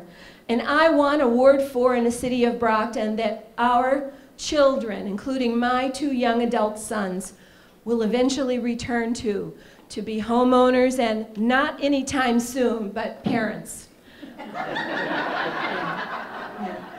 And you know, on a very personal note, the strongest person that I've ever known was my mother, Jean Igo Nicastro. And she made me who I am today, someone who put herself through college and law school. And her parents immigrated from County Mayo in Ireland at the turn of the 20th century for a better life in America. And, and I know a lot about the efforts and I admire immigrants because of Winnie and Tony Igo, my grandparents. And my mother used to say that she and I are Mayo girls. We're Mayo girls. We embody what my grandparents were. And I know everybody's in a rush to get out of here because the Pats are playing the Saints at 1 o'clock today. But did you know that right now, starting at 10:30 our time, the All-Irish football final is taking place, and Dublin is playing Mayo. That's right, and Dublin has won two times the last two years, and they think they're going to be the champions this year, and they're absolutely a machine. But Mayo's team is really good. They're scrappy. They stumble, but they keep at it and they work really hard. And, and they have a never say die attitude. That's the Mayo team. I'm a Mayo girl. I don't have a machine behind me. I'm the underdog in this race, but I won't give up on Ward 4 or the city of Brockton. It's supposed to rain on, on Tuesday, and I'm a wreck that it will keep my voters in. Ward 4 voters, call me if you need a ride. Be tough, get an umbrella, and please vote on Tuesday for Susan Nicastro, Ward 4 City Council. Thank you. Thank you so. Thank you. And last but not least in Ward 4, my colleague who's on the Southeastern Regional School Committee, Bishop Tony Branch.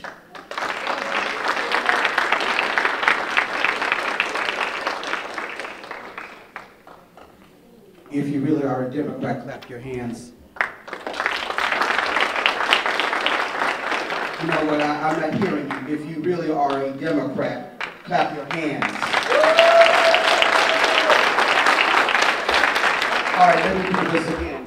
If you're proud of what Red Sullivan and his wife has done with this organization, clap your hands.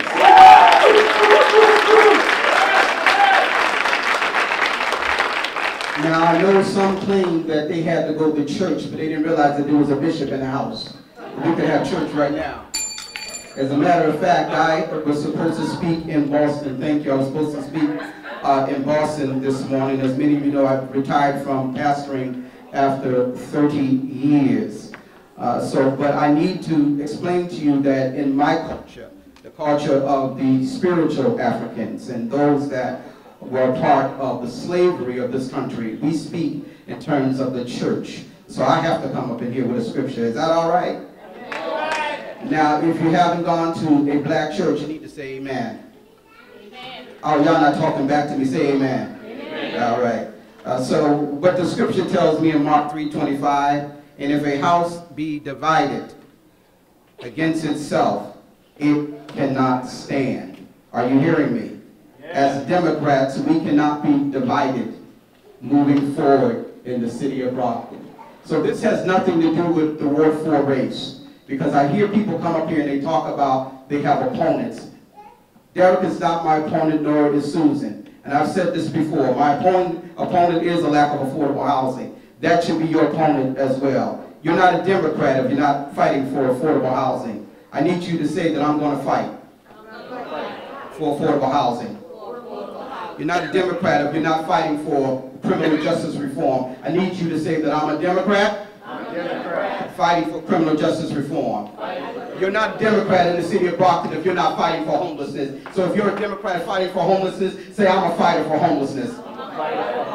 You're not a Democrat if you're not fighting for uh, if you're not fighting for equality because there's a lot of inequality. If you are a real Democrat, say that I'm fighting for equality. So this race is not about, it's not about uh, uh, anything that what I call foolishness. It's not about my opponents. It's really about what is the best experience required in order to make change in Ward 4. That's what this is about. The people asked me to run for this particular seat. And we bless the Studenski family uh, for their 2005 election until now. We bless them for that, for their leadership. But the reality of it is, is that the community is my church, and I'm with them. And I'm telling you that they're not happy. Are you hearing what I'm telling you? Y'all are talking back to me. They're not happy. So my point to you is this. This race is about, on Tuesday, it really is about change. It's about change, people. We have changed, the, demogra the demographics of this city has changed. We need to own up to that and to realize that it's not changes that's in the air, it's changes that is a reality. A house divided cannot stand. We have to be united. We have to be united, or you will not be able to say moving forward that you're a Democrat. May the church say amen. amen. Thank you.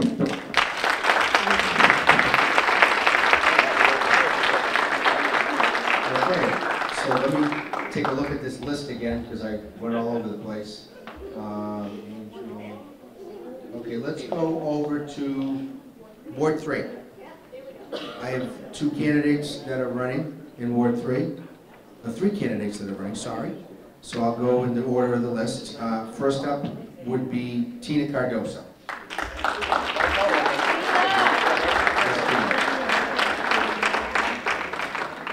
Is Tina in the room? There she is, all the way in the back of the room. Okay. Here we go. Hello, friends. Can you guys hear me? It's so nice to be here. Thank you so much for Brockton Dems and for VFW for the invite to speak. This is exciting. I haven't done this before. I am a nurse by trade, nearly 20 years in the business of caring for and about people, and that's what I do. And that's why I'm running right off the top, because I care about the residents here in Brockton. I, I'm a lover of all people, black, white, you. I get along with everyone. I started an organization called Criadas Unidas about a year ago, trying to unite people, okay? That's what I do. I'm a uniter of people. And piggybacking on what Tony Branch says, we are divided right now. And knocking on doors, I see that every day how divided we are in this city. And we need to cut it out. We need to come together. It's time for change. It's time for unity. It's time to get things done. And that's why I'm running. I want to thank Joyce for the notebook because I got some paper. Thank you, Joyce. And then um, I'm going to also um, piggyback a little bit on what Suzanne Bump says because people out there are saying uh, that I was pushed to run. I was asked to run, but I wasn't pushed to run. I am running because I want to run. I am my own person. I have my own mind. I can make my own decisions. I'm not a politician, but I went to UMass Boston and I got a nursing degree there with two kids, okay? So I, am pretty smart. I think I can get in there and make my own decisions. I want to clarify that. And I'm running because, again, what Suzanne Bump says, if not me, then who? We have to motivate people in our community to run. This is an exciting time. We have so many minorities running, and they're running because they're passionate, because they care, because they want change, they want to be involved. We're always saying that minorities don't get involved. Well, now we're getting involved, and everybody's asking, why are we involved? you can't win. You can't win. But we will win. We will win. So, and, and if not now, then when? When are we supposed to do it? When, when everything falls apart? When our city falls apart? No, now is the time for people to get involved if you can. You don't have to be a politician. I am a nurse. I graduated three kids from Brockton High. I have a daughter who's getting a PhD right now in psychology. I have a daughter who has a master's in education in Boston. My second one's at UMass Amherst. I love Brockton. I love what Brockton High afforded me. I want to give back, and now is the time. Thank you very much.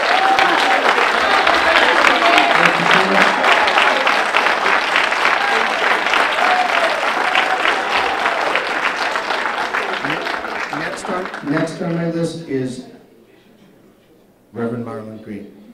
Who's Reverend Green? Right over there. Give him a warm welcome.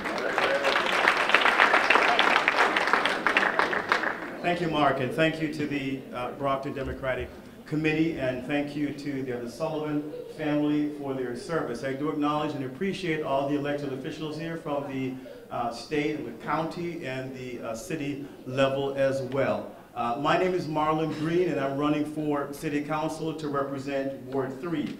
I do want to thank the Lord for my wonderful, awesome, and supportive wife, Winnie Green, who is with me today. Would you stand, honey? Uh, this is my wife of almost 13 years, and thank you for your uh, support. I'll share my story with you. I'm Jamaican, and in the early 90s, my father made a decision to relocate uh, his family, uh, five children, and uh, his wife, my mom, to the United States. We came to Boston, Massachusetts. And then some years uh, later, we made the decision to relocate to Brockton, Massachusetts. And I've been in Boston for, I've been in Brockton for the past 15 years.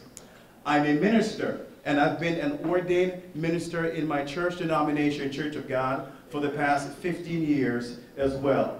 And I've served in many communities throughout New England, bringing people together at a table for a common cause to empower and to enrich the lives of our young people.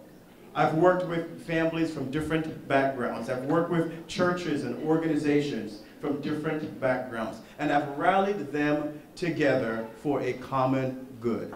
I've worked in the healthcare industry as a research project manager for the past 15 years, managing complex trials in cancer and diabetes and different disease indication, and managing multi-million dollar budget, both in the academic realm and also in industry as well.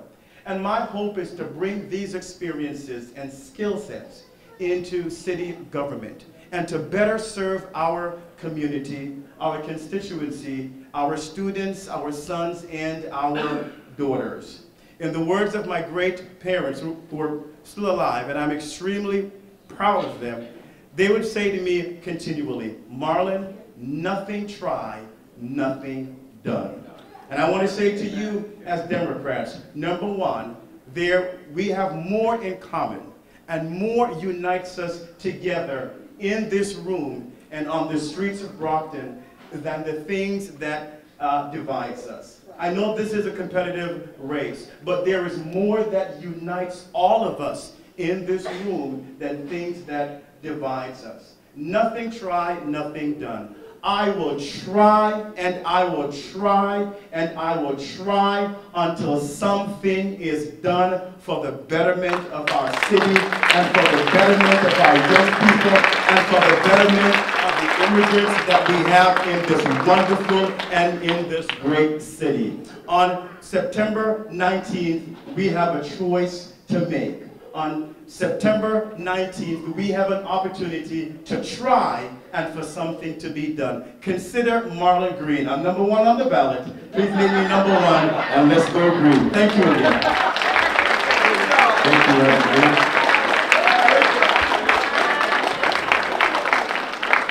last but certainly not least, in Ward 3, we have City Councilor Dennis Eaniri, who's all the way in the back there. doing something.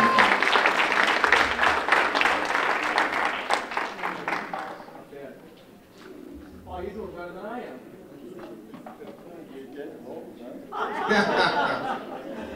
I appreciate that. Here you go.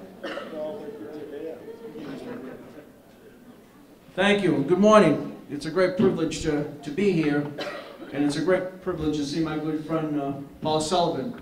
He and I at one time were uh, opponents, believe it or not, some years back. And, uh, and I'll tell you one thing with the, the race that we had so many years ago, Paul taught me one good thing. Never take anything for granted.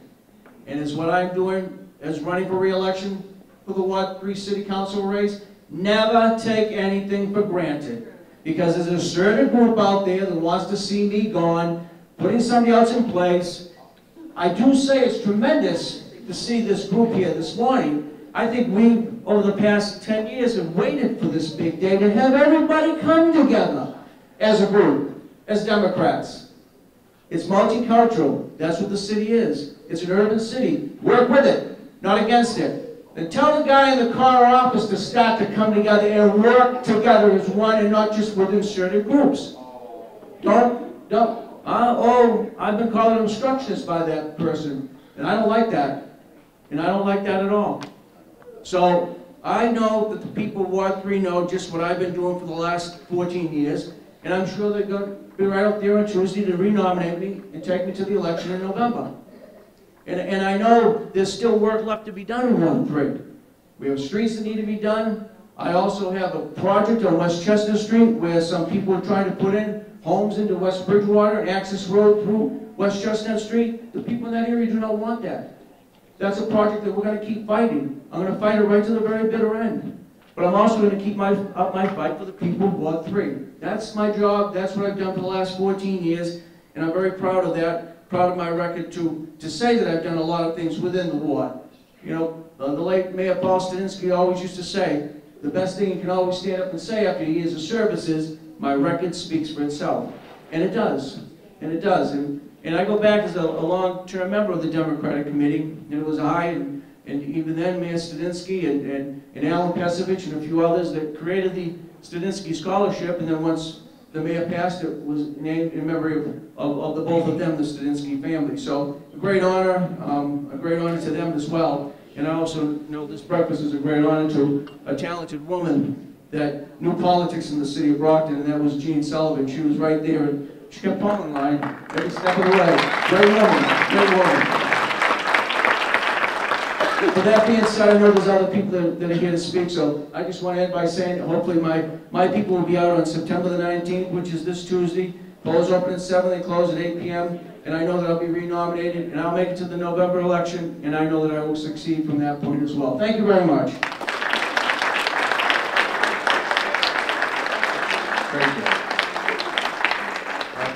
Try to keep up with this list, a little bit of paperwork here. Um, So we are next up, we did four, uh, nope, we're gonna go to five. So we have um, incumbent councilor Ann Beauregard. Come on up, Ann, you're right behind my table. Well, you have to, Ann, go ahead. Hello, I'm Ann Beauregard, the Ward uh, 5 City Councilor. I am running for re-election. And don't vote for me if you don't want safe streets, because I'm on the Traffic Commission, and let me tell you, I'm working with my colleagues to change that and to see that we have safe streets, stop signs, signals that we need. If you don't want transparency, then don't vote for me because I'm on the Accounts Committee. And let me tell you, that is one super busy committee. We have a serious amount of homework that we review to see where your hard-earned money is spent. If you don't want the best school system in the Commonwealth of Massachusetts, then don't vote for me because I work with the superintendent and the teachers and the volunteers and the staff and the parents to get the best things we can for our students, our parents, and our community. If you want to have more empty storefronts and less economic development, then don't vote for me because I work closely with small businesses to work and bring them downtown. I actually have a magic academy downtown. Unfortunately, they haven't done enough magic yet to bring us more financing in our community, but that hasn't stopped us. They're asking me to move away from the microphone.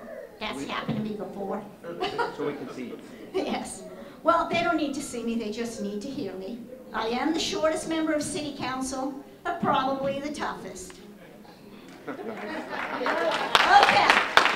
Don't vote for me if you don't want to work collaboratively with the remarkable institutions of higher learning in and around the city of Brockton.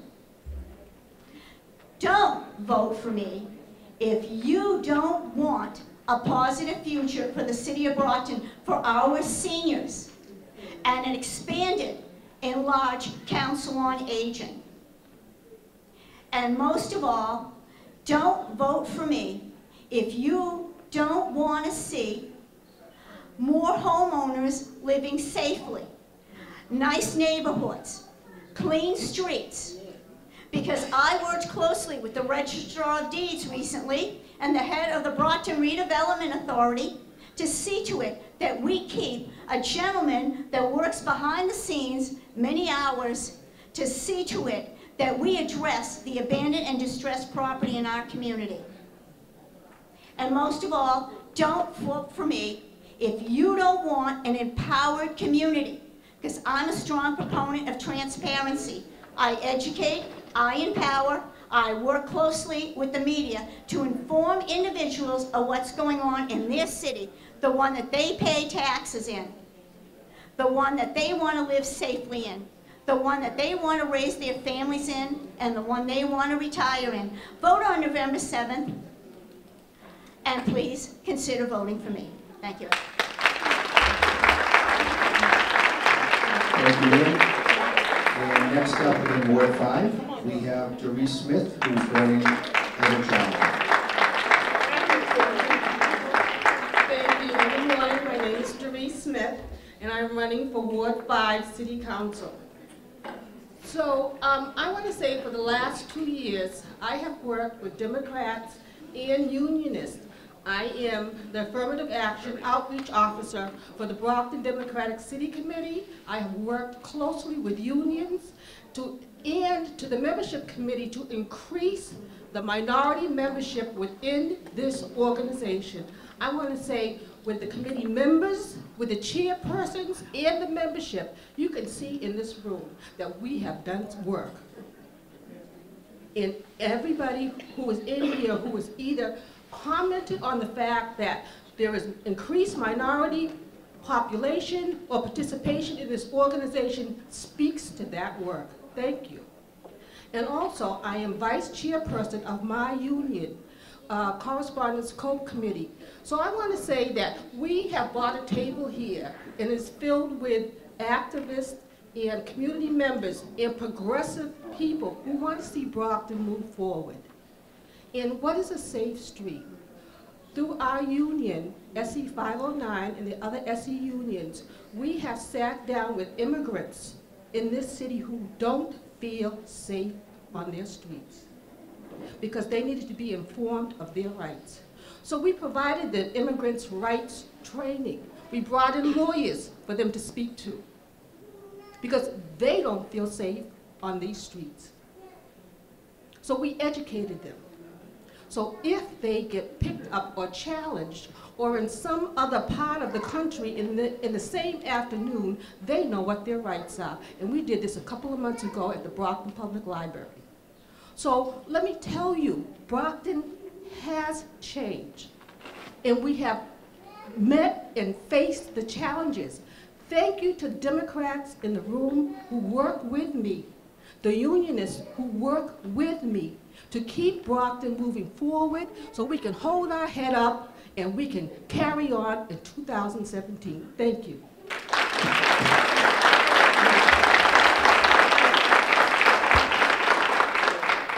Yeah, making sure my list is, um, checking it twice, so to speak. Uh, let's see.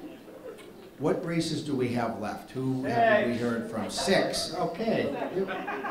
Six and seven? Seven is unopposed for city council. So we're gonna do six, and, um, John is here. Joanne is not here, and unfortunately, our, do- our rules do prohibit anybody who's not a Democrat from speaking, so apologies to Councilor Lally, but we're a Democratic City Committee. So I'm gonna bring John up here, uh, to, to speak, and again, just to give him a round of applause as well for doing this.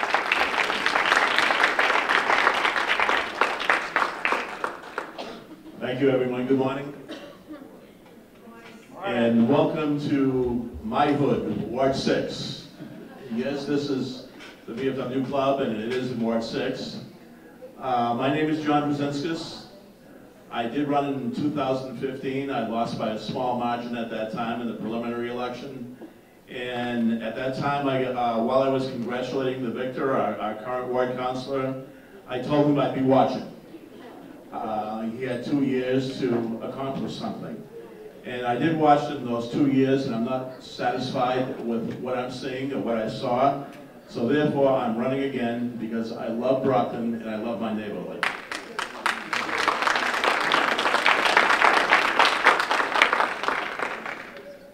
So a little bit about myself. I am a retired retail store manager. I've dealt with things like uh, budgets and the human resources part of that, of that business. Uh, dealt with a lot of different types of personalities, which you certainly have to on any level of politics, especially local. I have, um, being retired, I have uh, time to put into this job. My two opponents for the two other people that are running, one is a full-time college student, the other is a uh, full-time employee, and she's running her own business also. So I have time to put into it. And also, um, I've often told people that um, even though being a ward councilor or councilor at large does not require any type of uh, job requirements, I think you need two things to be an effective ward councilor. The first thing is probably more important than, than the second. The first thing is life experience.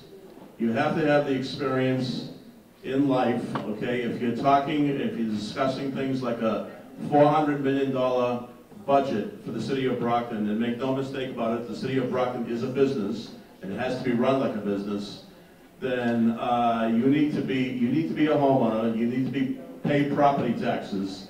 You need to pay water bills. You need uh, to experience that entire package. I will be an independent voice on the city council. I will not nod my uh, uh, nod my head to everything the mayor wants or the majority of the city council wants. I will be independent. I will ask the tough questions. Do the sorry, do the research that needs to be done, and if the decision is unpopular, uh, as long as it's for the people, that's the important thing. So the other, the other thing is life, uh, besides life experience, is involvement in the community. I'm not going to reiterate what's on my palm card, okay? That's only a partial list of, of what I'm involved in. Uh, I actually, when I lost in 2015, I got more involved. I didn't go high. Okay, I got more involved in the community, and um, you know, uh, whatever the whatever the result of the election is going to be this year, I plan on staying involved and getting more involved because I love my city, I love Brockton, I love Ward Six. So I'll finish by just saying the turnout for Brockton's primary and preliminary elections have been abysmal at at, at the best. So I, uh, you know, I'm running a very tough preliminary race. I'm asking everyone um, to come out and vote on Tuesday, September 19th. Uh, the, the weather, uh, I understand, is not going to be that great, but you know, pray, pray for good weather so we get a good turnout. I'm running against a, a fellow Democrat who's not here today. I don't know why she's not. Okay, and I hope to depend on every Democrat in the room that lives in Ward 6 for your vote because I am running against a unenrolled incumbent. So um, with that, I, I, thank you for coming to the breakfast. Uh, God bless Ward 6, God bless the Democratic Party, and God bless America. Thank you. First of all, I'd like to thank my uh, family, my brother Douglas, my sister Therese, and Representative Kennedy who's an Kennedy, old, Cassidy. Uh, Cassidy. Oh, I keep thinking of his boss. I'm sorry. And uh, I did that on purpose. and uh, he's uh, he's an old friend, not in age, but Jerry's come a long way from being a, a racquetball pro to a city councilor to a state representative, and I've asked him to present the uh, the award to the winner. Thank you. More, more importantly, I'm a friend, friend of this. Um, you know, Chicky and I go way back, and uh, even uh, his father, uh, Paul, when I served on the city council, told me a story that my grandfather, when he was on the uh, police force, uh, would give him rides from, uh, you know, from his neighborhood to city council meetings. And it was, it's just amazing that, you know, Paul, Paul was one of the, the, the best guys I've ever known. And I just want to, you know, say Paul Jr., um, you know, he and I used to play racquetball a few years ago and I was a little skinnier. But uh, I just want to present this award to the, uh, the uh, recipient. The, uh, we, the original plan was to present two scholarships, okay? And um, because of the lack of applications, uh, we, uh, we were going to present one. the winner was not able to be here today. there was a communication breakdown. but anyways, I'd like to announce the winner as uh, former um, Ward 6 school committee, uh, uh, school committee person, Michael Healy's daughter, Alana Healy.